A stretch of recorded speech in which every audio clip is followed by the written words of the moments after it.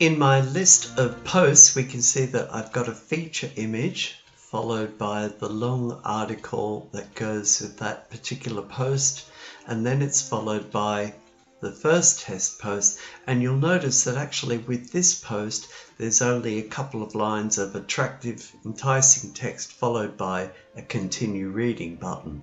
And when I click on that, it takes me to the full post, including the text. So, how to do this? Well, we'll go back to the first post where we don't have that inserted yet. And I'm going to select that so I get the post up.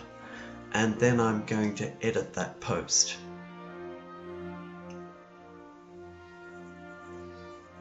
So firstly, I'll add a bit of text above and I'm just going to add uh, this.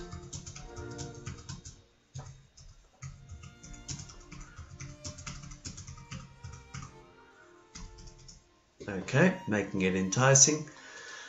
I then select the block immediately below because when we insert that read more and it's a layout element we're going to put it in, it appears directly above automatically. So now we've inserted that.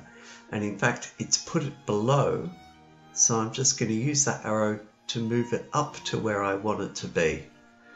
And I'm going to update the editing for that page. And when I go back to the website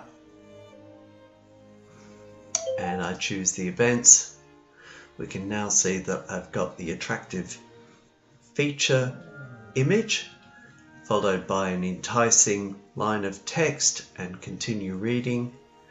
And below that we have test post and a couple of lines with continue reading. And if I click on continue reading it takes me to the full posting